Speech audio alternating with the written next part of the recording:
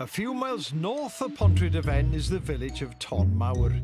Its industrial heritage has left some surprising benefits to wildlife, and a former colliery site that surrounds the rugby pitch is a good place for reptiles. I got talking to one of the locals there. Nice to see you. Hello, Peter. Good All right. to see you, boy. Yeah, I tell you why I'm here. I'm looking for adders. yeah. You come to the right place. I have, have I? Because I was told, I've been told by several people, Oh, this is a really good spot for them. Oh yeah.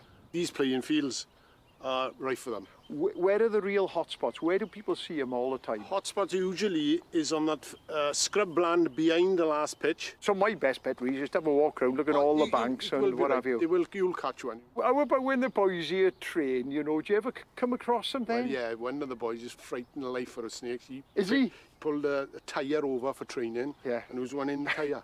what did you run off? He ran off, he did. He wouldn't go near it. I'm glad. Yeah. I, you know, because I want to go and have a walk around. But Peter, thank you very much indeed. All nice to meet you as well, Yeah, boy. nice to meet you. You've got the wrong team on there, I boy. know, you want to I get a Wales top. I. Take, Take care. care. Ta-ra now. Ta-ra. After an hour of looking, it starts to warm up. But the reptiles here are keeping close to cover for now. All been a bit frustrating so far. There was, there was an adder just back then, but um, it wasn't in a good position. I, I couldn't see it very well, just, just make up bits of it. So I didn't dawdle. I don't want to disturb them, so I just let it go. It's amazing to think, you know, the habitat is brilliant. We've got the rugby pitch down here. We've Got houses just behind me over here. And this is the site of an old colliery.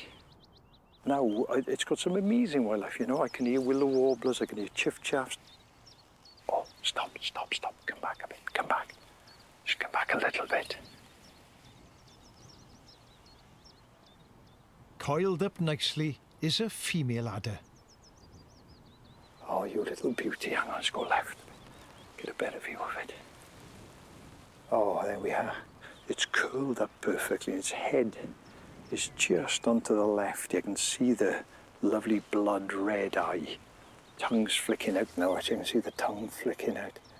Kind of tasting the environment. They've got specialist organs where they flick out the tongue and the tongue pick up any particles of scent. By doing that, they build up a picture of what's around them. They're amazing, amazing creatures. I really, really like adders. You know, and they're very misunderstood, really. A lot of people don't like them because they're venomous. But I, I, really like them, and if you leave them alone, they'll leave you alone. And usually, if I find adders, you know, I keep quiet, I don't tell anyone. But this is such a well-known site. Everybody locally knows that they're here. It, it- it's always good if you find one, and if you can watch it, enjoy it, and just leave it. Don't disturb it. I'll just back off now. But that is lovely. It's really nice. I like that.